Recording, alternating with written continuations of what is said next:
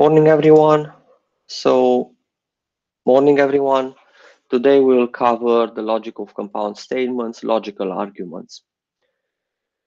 So last time we covered the logic of compound statements, we learned the basic uh, operators, conjunction, disjunction, negation, implication. Uh, we learned to uh, build a truth table for such a formula written in the logic of compound statements or propositional logic. And today we actually learn how to prove, given a set of true facts, which are called premises, a conclusion, which is basically what are logical arguments or inference rules, is the main area of uh, uh, research and also uh, way to prove statements in mathematics. So we'll see that the types of proofs that we learn today are the ones that we use in order to prove uh, prove properties of uh, number in number theory, properties in set theory, uh, properties of, of functions and relations. So basically we will start from logical facts that are true and given those facts we will use logical arguments to prove conclusions which must also be true. But these logical arguments must be valid. That means that they have to be sound, that given true input facts, they can only uh, infer uh, true output facts. So what exactly is a logical argument or an argument form? Is a finite sequence of statements, logical formulas, written as follows. Uh, P1 up to Pn are true formulas. Therefore, Q must be true. We call the facts P1 to Pn premises or assumptions or hypotheses, and Q as the conclusion of, of that logical argument. And we read such a form as if P1 to Pn are true, therefore Q must be true. Or from the premises P1 to Pn, we can infer the conclusion Q. Now, you can write several such logical arguments, but only some of them are valid. That means that they are sound. Indeed, from that set of uh, formulas that are the premises, you can infer the conclusion. Argument forms are also called inference rules. So if you have seen either in uh, books that describe logic uh, or syllogisms, or you have seen it in uh, programming with logic, like the Prolog programming language, you will see that they are called inference rules. They basically mean the same thing. You have a set of premises that are true, and you want to obtain the conclusion to be true. An argument form that only has two premises, like modus ponens and modus tollens that we'll talk about today, and a single conclusion is called a syllogism. And a lot of puzzle books, like the ones written by Raymond Smullyan, were uh, basically called syllogisms. They basically have two premises and only one conclusion. An inference rule or an argument form is said to be valid or logically sound if it is the case that for each truth value, if the premises, uh, all the premises are true, then the conclusion is also true. So basically the meaning of this is that we are looking only for inference rules that are valid, those that actually can be used to infer logical conclusions that are true. And a valid inference rule is that that given all the true valuations, if all the premises are true, for all the true valuations for which the premises are true, the conclusion is also true. In fact, the meaning of such a valid uh, uh, inference rule is that the, con the conjunction of all the premises implies the conclusion Q is a tautology. And you can see that you can have a tautology that the, in, from this formula if the premises are true, implies the conclusion is true, is true. Okay? So how do we actually test if such a logical argument, somebody gives us, uh, it's kind of like a meta language, giving us that these, these propositions are true, those are the premises, and we want to, uh, and the conclusion Q, and we want to actually see if this logical form is a, is a valid logical form. It can be used by us in theorem proving. First, we have to identify the premises and the conclusion of the argument form. Most of the cases we are given, like in la the last class, English sentences as the logical forms, uh, as the logical formulas, and we have to transform them into a logic uh, uh, formula and we have to clearly identify what are the propositions, what when we are using the connectives like conjunction, disjunction, negation, implication. Once we have these formulas that correspond the premises and the conclusion, we build a truth table with all the possible uh, situations, true values for the premises, and the conclusion a row in this table in which all the premises are true is called a critical row. So basically, these are the ones that we are interested for in when we talk about logical arguments. If there is a critical row, one critical row, one row uh, in this truth table where all the premises are true, but in which the conclusion is false, then the logical argument form is invalid. So it cannot be used for proof theory, like basically for uh, uh, developing a proof. If the conclusion in every critical row is true, so for all of the rows in which all of the premises are true, the conclusion is also true, then the argument form is valid. So it's actually an easy way to prove. We build a truth table and we look, is it true that for all of the critical rows, for all of the rows that contain only premises that are true, the conclusion is also true. If it, that is the case, then the logical argument is valid. We can use it in other cases. If it's not the case, then we will basically uh, declare that this logical argument is invalid and cannot be used for theorem proving. So here is an example. Let's say that someone tells us that these two premises are true and the conclusion P implies R can be inferred to be true there, uh, therefore.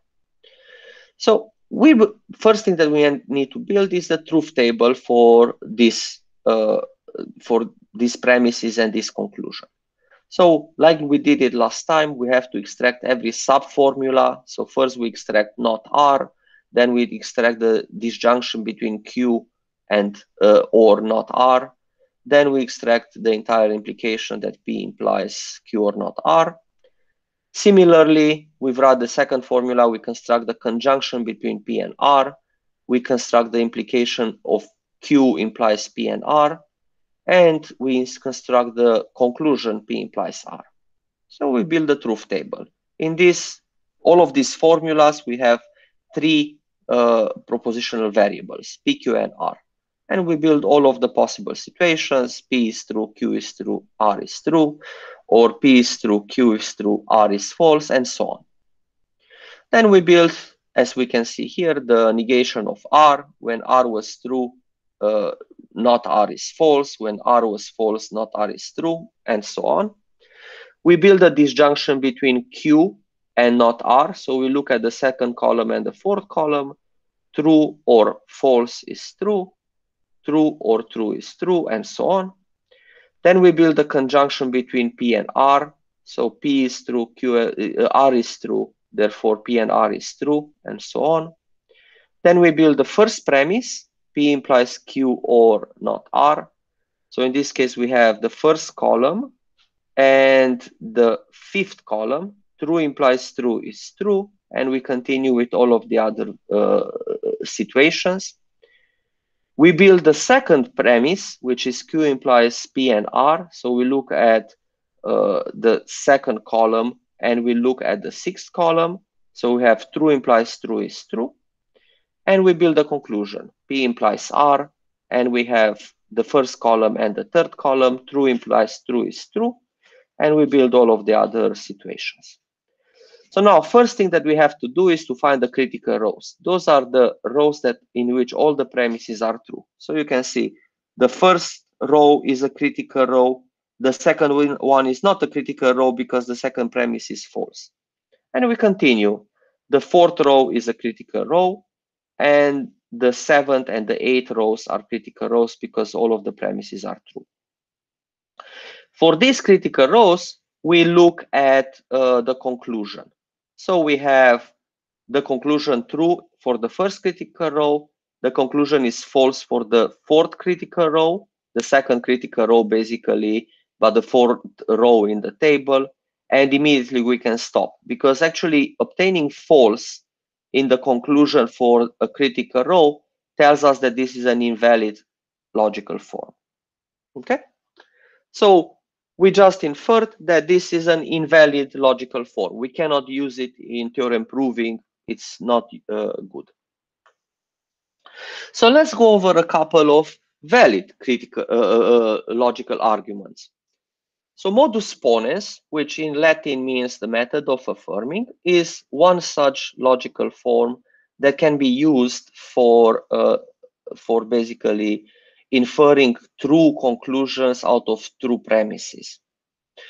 And the statement is as follows. We say that it's true that P implies Q, and we know that P is true.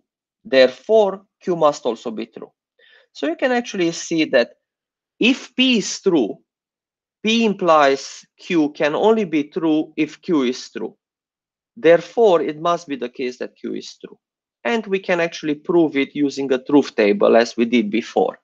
So we have the truth table contains two uh, input logical propositions, uh, propositional variables, basically we have that uh, P and Q are the two logical propositions in this program.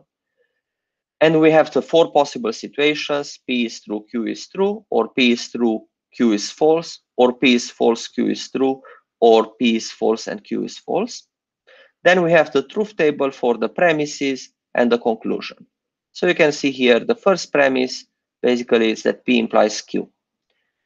True implies true is true, True implies false is false, and false implies anything is true. So that critical, the this premise is basically true for uh, the first, the third, and the fourth uh, situation. Then for the second premise, we only have the proposition P. So we can see that is true for the first two situations, but not the last two in our truth table. Now, the only critical row that we can find is the first situation because both P implies Q and P is true. Therefore, we can actually only represent the true value for uh, the conclusion in that case. So we can see that given that both premises are true, the conclusion is also true. Therefore, this is a valid argument form. So it can be used in any case where we have that a fact is true and that fact implies another fact is also true we can infer that the second fact must be true. Okay? And we can see an example here. So we have the premises that uh, Socrates is a man, and that if Socrates is a man, therefore Socrates is mortal. Immediately we can infer that Socrates is mortal is a true fact. So this is used in, law, in a lot of different systems. We'll see that every single proof that probably we'll use in number theory will use this form of proving modus ponens. Another example is here. If the sum of these the digits in this number 371,487 is divisible by 3, then uh, this number must be divisible by 3. It's a standard property in number theory that if a number, if the digits in a, positive integer are divisible by, if the sum of the digits in a positive integer are divisible by 3, then that number must be divisible by 3.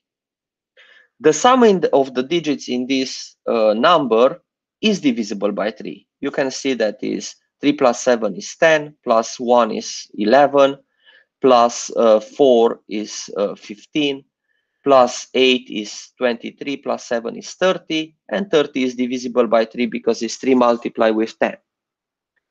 Therefore, from the two premises, if the sum of the numbers is divisible by 3 and if the sum of the numbers is divisible by 3 implies that the number must be divisible by 3, we can infer that that number is divisible by 3. 371,487 is divisible by 3. And we don't have to prove uh, anything if these rules are given to us. Okay. Another valid argument form is modus tollens. Uh, actually, I do have a typo, so give me just a second to.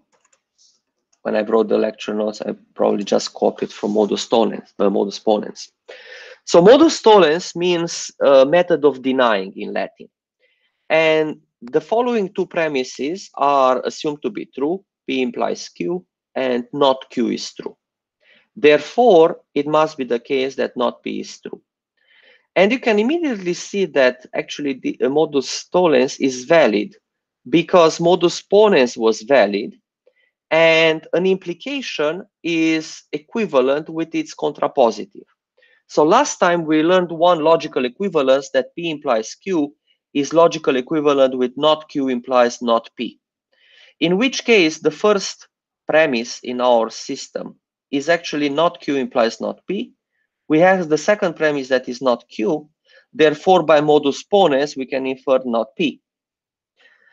You can also establish using a truth table. So you can build a truth table for all of these, basically the premises and the conclusion. And you can actually see that indeed this is a valid logical form. In fact, I'm assuming that this is an imp important thing, so we can do it, in fact. So let's build the truth table for modus for the premises and for uh, the conclusion. So we have P as a propositional variable, Q as a propositional variable, P implies Q as the first uh, premise. I'm going to call uh, to write the second premise, not Q, and then the conclusion in our case is not P. Okay. So again, we can build the truth table for the inputs. So we have true and true, true and false, false and true, and false and false. So again, we have the truth table for implication. True implies true is true. True implies false is false. False implies anything is true. Okay. Then we have the truth table for not Q. So we have not true is false, not false is true, not true is false, not false is true. So now let's see which are the critical rows. And we can already see that the first one is not a critical row because the second premise is false. The second one is not a critical row because the first premise is false. Again, the third one is not a critical row because the third premise is false. The second premise is false. And only the last one is a critical row. So we don't actually need to put the true values for not P, except in the last case, which actually shows us that this is a logic, this is a valid argument form.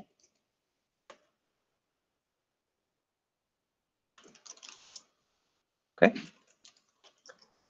So modus tollens is a valid argument form. Okay. The other thing that I wanted to tell you earlier is that in fact you can actually infer immediately that modus tollens is a valid argument form from the fact that modus ponens was a, valid argument form. Because this implication is logical equivalent with not Q implies not P. So our argument for modus tollens becomes not Q implies not P. Uh, we know that not q is true, is the second premise. Therefore, we can immediately by modus ponens infer that not p is true. Okay. Let me actually save it on the desktop because these are notes that I will upload on Blackboard after the class. Notes for lecture. Okay, so let's return back to the lecture. So let's see an example. For instance, if Zeus is human, then Zeus is mortal. But we know that, let's say, Zeus is a god, Zeus is not mortal. Therefore, Zeus must not be, uh, cannot be human. An intuitive proof is a proof by contradiction. And actually, we'll see a little bit later what is proof by contradiction. Proof by contradiction in a two-valued logic means that if you cannot prove, if you assume something to be uh, true, you start using the inference system and you infer that what you what you assume to be true is false, you reach a contradiction. Therefore, it must have been the case that the, the, the initial fact was uh, false. So this is what exactly what we are doing he, here. Let's assume by contradiction that Zeus were human. Then by our inference rule, if Zeus is human, then Zeus is mortal, would infer that he Zeus is mortal. However, we know by the second premise that was assumed to be true that Zeus is not mortal, which brings us to a contradiction. We have a fact both as true and as false. Zeus is human is true by the first rule, but we know that Zeus is human is false by the fact that we are given that Zeus is not uh, uh, mortal. Uh, so we infer from the first fact that Zeus is mortal and from the second fact that he's not mortal, which is a contradiction, Therefore, it must be the case that Zeus cannot be human. So we actually infer that Zeus is not human. But we'll learn a little bit more about this method of proof by contradiction in a few minutes when we basically see that type of proofs. Now, one thing that you have to remember about uh, proof by contradiction is that in about the beginning of the 19th century, uh, mathematicians realized that you can actually have inconsistent systems, See, logic systems in which things can be both true and false at the same time. And they invented additional logic, logics like Lukasiewicz logic that allows three-valued logics. Basically, you have a lattice of true values in which things are true, false, or undefined or unknown or inconsistent. And there are paraconsistent logics, logics that allow you to actually uh, uh, infer things even if other things are inconsistent. However, the logic that we are discussing in our class in CSE 215 is first order logic or propositional calculus in this instance, which is a two-valued logic. So things must be either true or false. And if they are not true, there must be false. And similarly, if they are not false, there must be true. So all of these inference rules that we will discuss today and uh, basically in other classes in the rest of the rest of this semester are based on these two valued uh, logic systems. Now, another problem, the following problem, once you are given uh, premises that are true, you have to use these argument forms to infer what conclusions can be inferred also to be true. And this is also a problem of recognizing modus ponens, modus tollens, or other inference rules that we will see later, generalization, specialization, uh, transitivity, that is, uh, that are basically other logical arguments that are true, that are valid. And here is an example. We are given two facts that are true. If there are more pigeonholes then there are uh, if there are more pigeons than there are pigeonholes then at least two pigeons roost in the same hole. This is this is called the pigeonhole property. There are more pigeons than there are pigeonholes. What can be inferred out of these two statements and we can actually directly use modus ponens so we know that there are more pigeons than are, there are pigeonholes which is the premise uh, of the first inference rule of the first uh, implication that we have as the as the first premise. Therefore, it must be the case that at least two pigeons roost in the same pigeonhole. And we did this by using modus ponens. Okay. Similarly, like we had in the previous case with a number divisible by uh, 3, let's assume that if 870,232 is divisible by 6, then it is also divisible by 3. And we are told that 870,232 is not divisible by 3. What can be inferred out of these two premises that are true, that are assumed to be true. By modus tollens, we can infer that 870,232 is not divisible by 6. Because we know that it's not divisible by 3, we had that premise that said that if it's divisible by 6, then it must be divisible by 3. Therefore, it cannot be divisible by 6. And again, we can actually transform the first premise into its uh, uh, contrapositive, that if it's not divisible by 3, then it cannot be divisible by 6. But we don't have to do that. We can directly infer from modus tollens that it cannot be divisible uh, by 6. Okay. We have many other rules of inference. Uh, in fact, up to uh, uh, I would say the 50s, people were developing such proof theories that would use a lot of different uh, inference rules. In the 50s, Alan Robinson discovered one rule that can be used at least in a subset of first order logic called resolution uh, uh, for horn clauses and not only but also but horn clauses in general that can be basically one inference rule used to prove the correctness of uh, logical arguments, of uh, uh, proofs. But we are not going to go into resolution. It's a very interesting uh, uh, proof theory. If you are interested, you can Google it and uh, ask me questions during office hours. But another rule of inference that we are going to learn today is called generalization. If we know P to be true, Therefore, we can also infer that any disjunction that contains P as one of the operands must also be true. Because if P is true, then true or anything else is true. And similarly, it doesn't have to be the first argument of the disjunction because disjunction is commutative. It could be that if Q is true, then P or Q is true. Because again, you can obtain it directly using commutativity. And here is an example. If Anthony is a junior, then more generally, you can uh, state that Anthony is either a junior or is a senior. Another inference rule is specialization. If you have a conjunction that P and Q are true, then P can also be inferred to be true. Similarly, from P and Q are true, you can infer that Q is true. And here we have an example. If Anna knows numerical analysis and she also knows graph algorithms, you can infer by this inference rule, the second one uh, in this specialization group, that Anna knows graph algorithms. So basically from a conjunction, you can infer any one of the operands to be true because the conjunction can only be true if all of the operands are true, okay? Elimination. If P or Q is true, and we know that Q is false, we can infer that P must be true.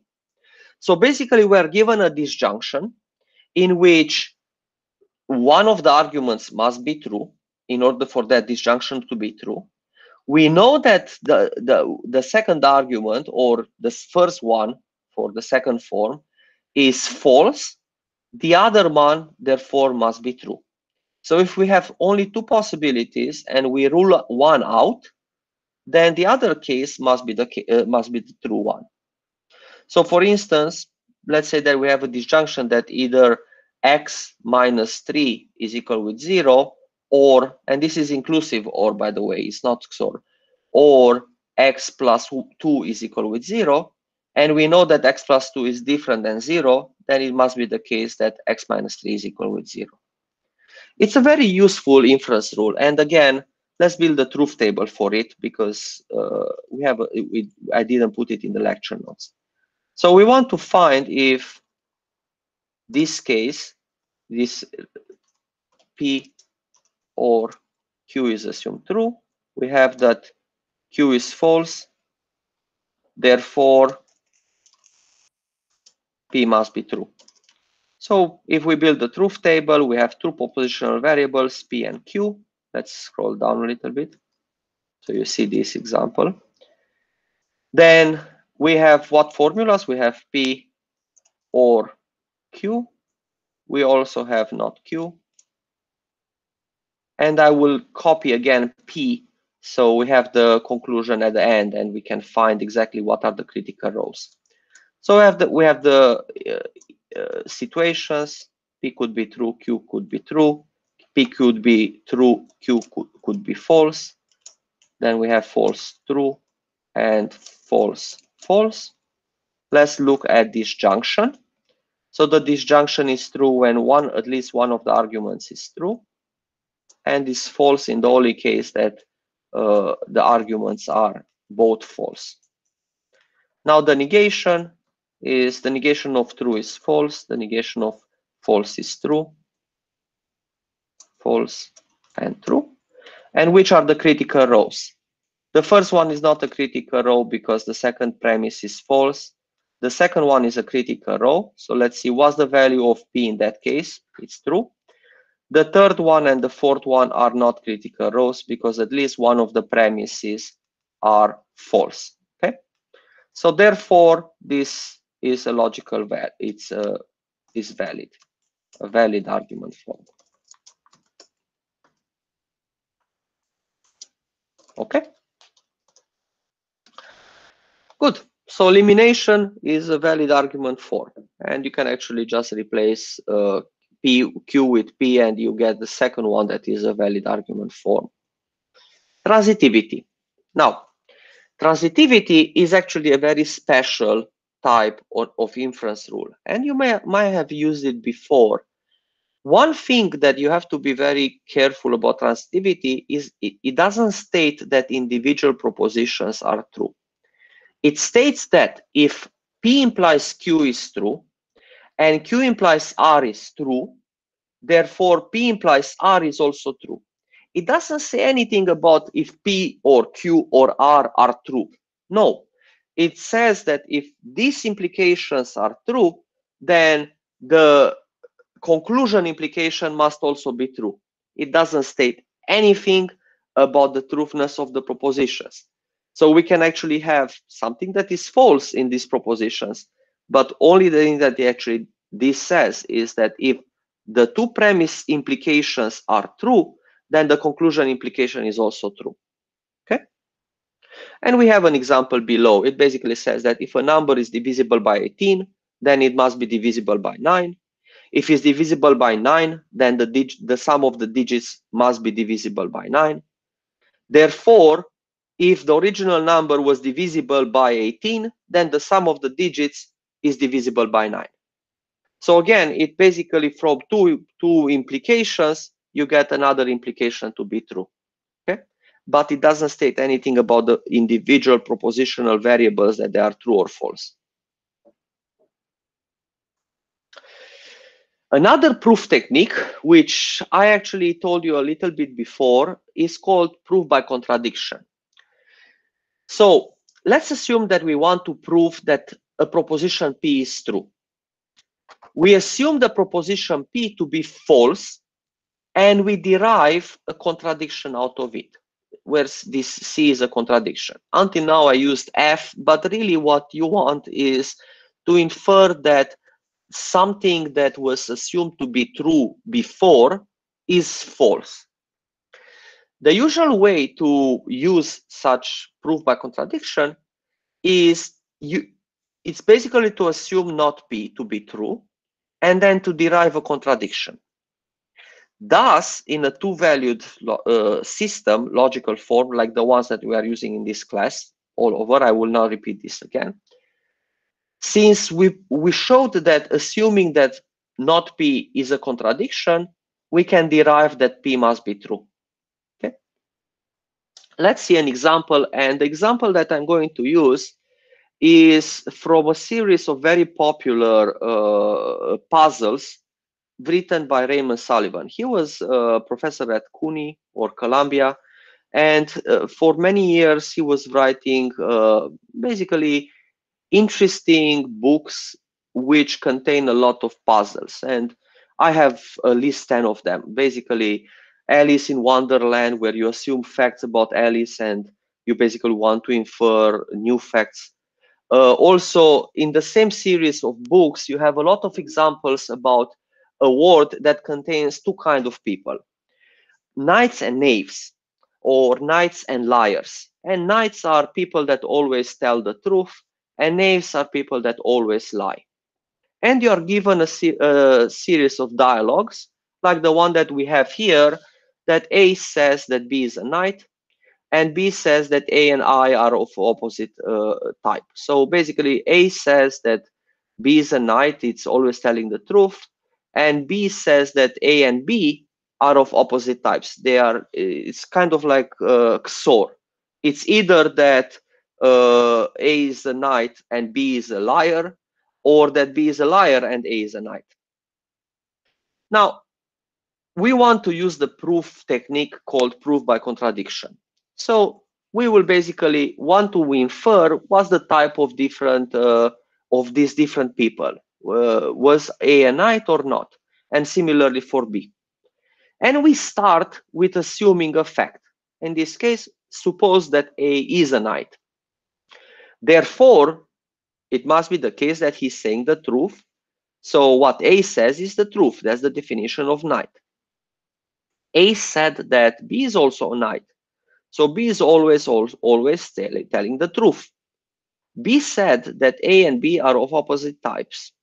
That was what B said. And by the fact that he is a knight, we arrive to a contradiction because we just said that B is a knight, he's telling, telling the truth.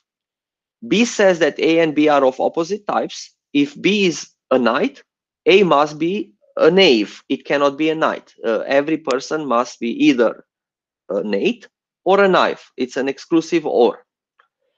So we reach the contradiction that uh, A and B are both knights, but A and B are of opposite types. Therefore, A is both a knight and a knave.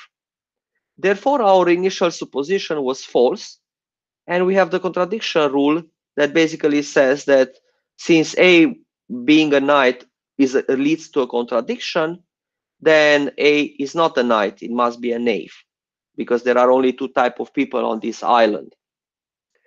Which now tells us that what A says is false, and A said that B is a knight, and therefore B is not a knight. And by elimination, we get that B must be a knave because we have that A is, uh, B is either a knight or a knave is true. And we know that B is uh, uh, not a knight, therefore it must be a knave. So this is how we use logical arguments to prove the correctness of, or to actually infer in this case, what is the type of different arguments. Uh, we will do more exercises during the recitation today using this specific word of knights and knaves. There are a lot of such problems that exist in literature. Uh, also, there are a lot of uh, examples or puzzles written using popular detectives like Sherlock Holmes or Hercule Poirot or uh, Miss Marple and so on. But basically, they, all of them follow about the same idea that you have logical uh, uh, constraints that are assumed always to be true. And then what are the things that you can infer from the logical those logical constraints? And we'll do a lot of such examples. Uh, i remember that one very interesting example is called the einstein puzzle where you are given a set of houses and in each house there live, lives a person of a different nationality. Every person has a single nationality then uh, every person owns an animal every person uh, smokes a single type of cigarettes every person drinks the same kind uh, a beverage and so on. And then you and every person drinks a different beverage so in all of these cases you are given a different set of elements. You are given a set of constraints and then you have to infer who owns the zebra. It's called the zebra puzzle. It's a very popular puzzle that if you solve it this way with the proof techniques that we learned today, uh, you can reach very fast to a, to a solution. Okay. Okay. So another proof technique or basically logical argument that is valid is called proof by division into cases. So we are given that P or Q is true. Then we are given two implications. P implies R is true and Q implies R is true. Therefore, R must be true. And really, the way that uh, intuitively you can think about this, and you see that it is indeed a, a valid argument form, is that if you know that the disjunction P or Q is true, and it doesn't matter if P is true or Q is true, they both imply R, it must be the case that R must be inferred because for P or Q to be true, either one of them is true or both of them are true. But in either one of these three possible cases, that P is Q or R is Q or both of them are Q, R uh, or P or Q is true, sorry, if P is Q or Q is true or both of them are true, you can infer R from at least one of them. And here we have an example. We are given a disjunction that says that X is either positive or X is negative. So we eliminate zero out of the basically possible values that X, a real or an integer can take. And then we are given two uh, implications. If X is positive, then X square is greater than zero. If X is negative, then X square is greater than zero. Therefore, X squared must be greater than zero because it didn't matter if X was positive or if X was negative, in either case, we have that uh, uh, x squared is greater than zero. Therefore, x squared must be greater than zero. Again, is a very powerful logical argument. It can be used in a lot, and actually it is used in uh, uh, proof systems and actually proof, theo uh, proof uh, theory to prove new propositions or new formulas out of premises that are true. Now, until now, we discussed basically argument forms.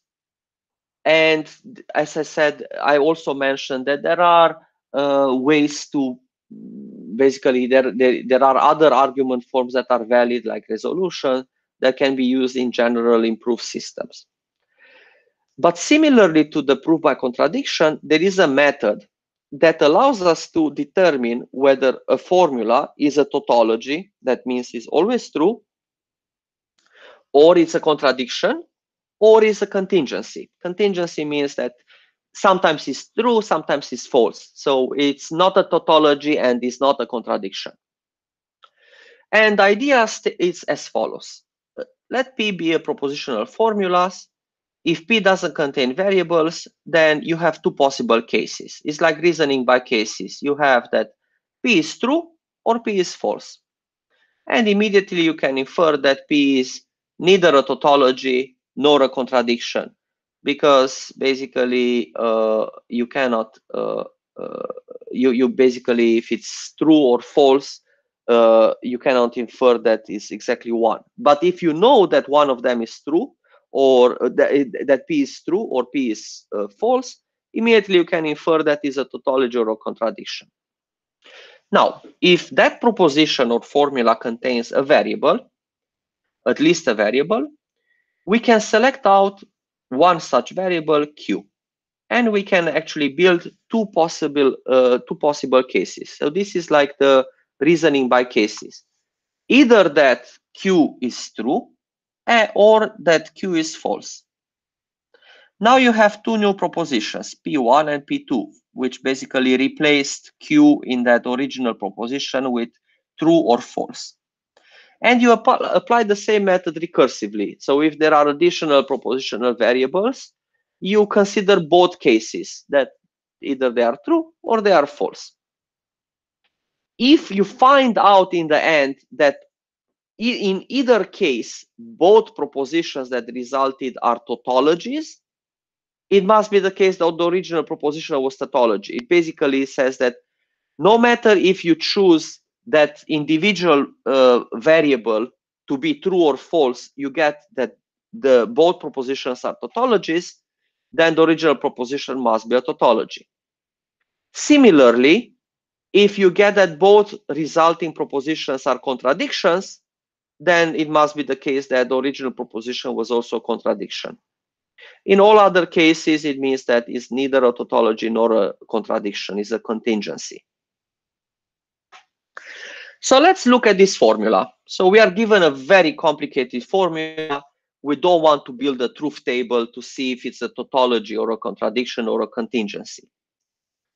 So the Quine method says that out of this big formula, we can choose a variable, one propositional variable. You can choose any one of them, but I will choose Q. And there are two possible cases. Q could be true or Q could be false. If Q is true, then our original formula becomes something, which is this big uh, conjunction, implies true. But if you remember the truth table for implication, true implies true can be it's true, and false implies true is also true. So it doesn't matter what the premise was. We don't need to actually consider what are possible true values for P and R. In either case, we know that what results after replacing Q with true, it's true. So we already found out that if Q is true, this formula must be true. Now we build a second simplification. What if we assign false to Q? So now our formula, we replace Q in every occurrence with false. And now we, we use logical equivalencies. So we have not false is true. We have P or false must be P because it's a logical identity. It says that if some P or false, it has to have the value of P because if P is true, then this disjunction is true. If P is false, then this disjunction is false. Then we have P or false or R is just P or R. Again, it's the same logical identity. Implies false. Now, we have to continue. So P and true becomes just P is another logical identity. No matter what P is, P and Uh, uh, true must be P itself. Because if P is true, P, true and true is true. If P is false, false and true is false. So it's exactly the same value with P. Good. So now we have another simplification. We are at this level. And now remember that a formula implies any other formula is the disjunction between the premise of that implication and the conclusion. So basically we have, I omitted, but basically we can transform the implication that we have above into this, saying that the negate this implies false is the negation of the premise of that implication or false. But again, by the same logical equivalency that we saw uh, above by identity law, something or false is that something. So this is the formula that we get if we replace, sorry, if we replace uh, uh, Q with false. So now we continue. We have to select another propositional variable and to consider the different cases. So now we select P in this propositional variable and we are getting that for P is true, we are getting this formula. And for P is false, we are getting this formula. And these are both on the second branch. So in fact, a better way to represent this is that we are in 2.1, okay, in the second case. And this is 2.2, okay? So again, we have two possibilities for P. If P is true, we replace P with true in every single part of this formula that appeared that where appeared P.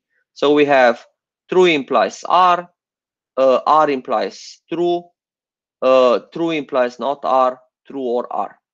So now true implies R is the value of R because basically true implies anything can only be true if that anything R is true. Again, we can actually use a logical equivalency that says that this is not true or R, which is false or R, and false or R can only be true if R is true,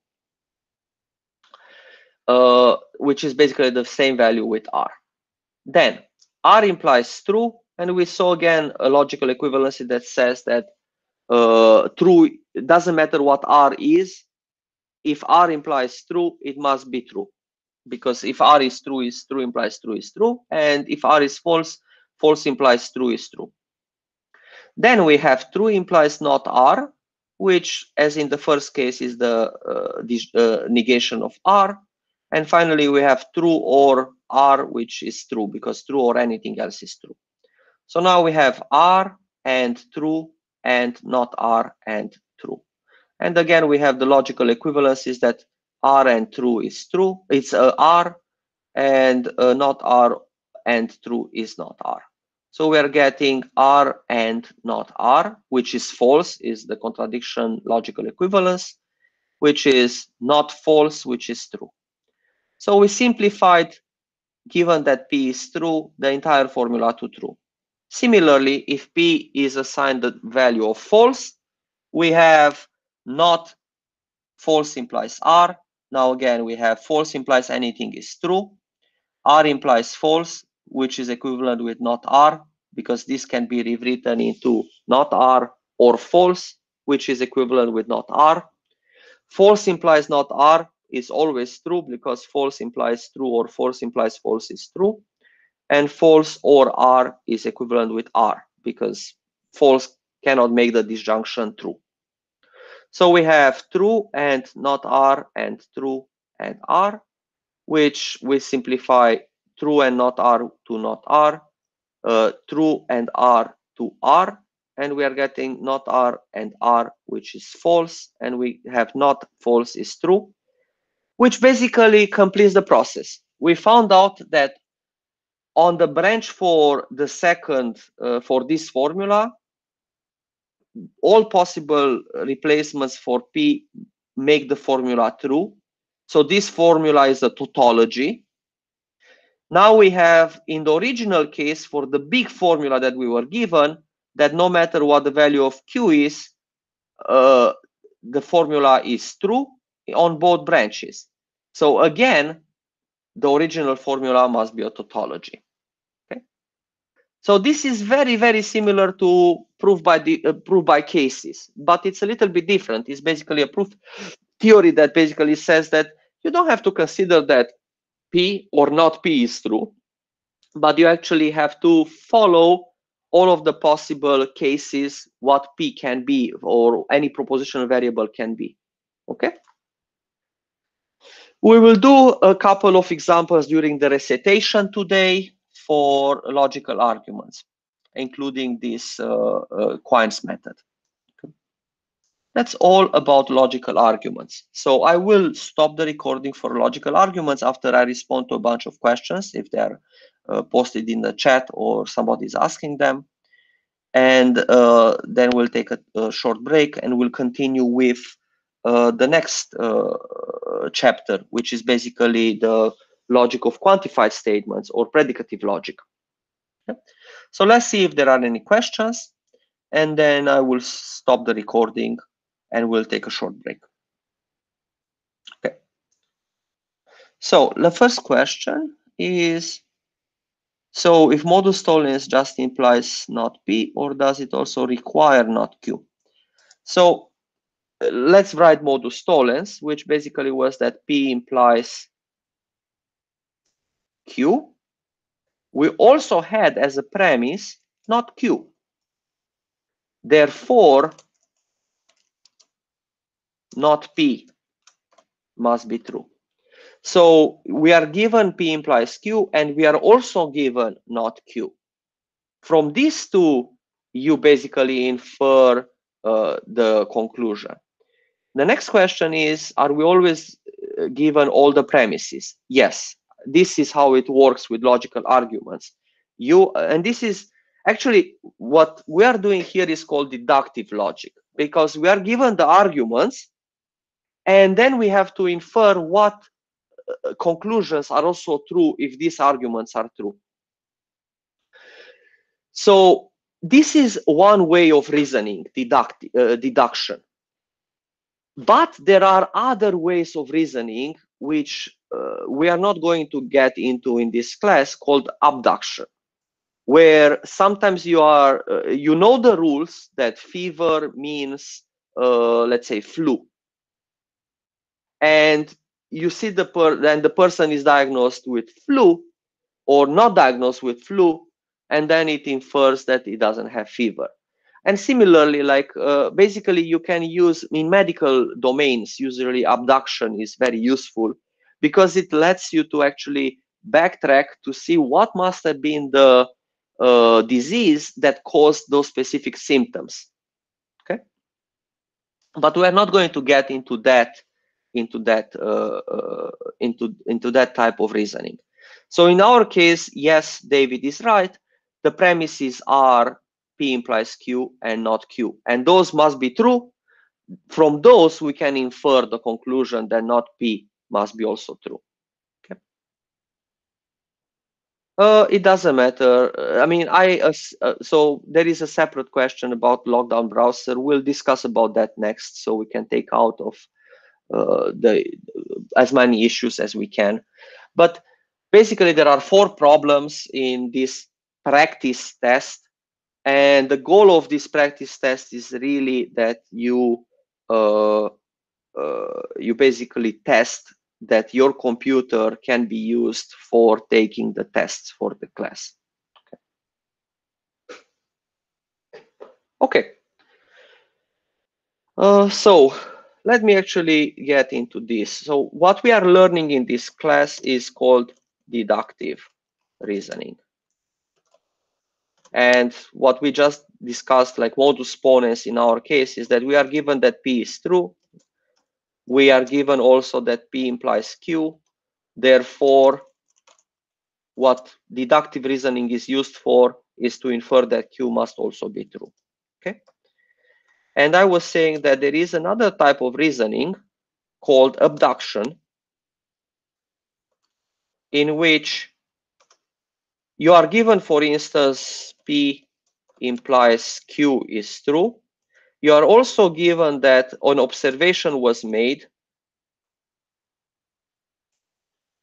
that Q is true, and abduction is used to infer that uh, if P implies Q was the only rule that was saying that you you basically have that Q is obtained to be true because P was true, by abduction. You infer that P must have been true. Okay, and you can think that in medicine is um, this this is very useful. Let's say that uh, uh, we have a single actually let me think of a simpler example than in medicine we have rain implies wet on the floor we wake up in the morning and we observe that uh, the the grass is wet, we by abduction we infer that it must have rained. Okay.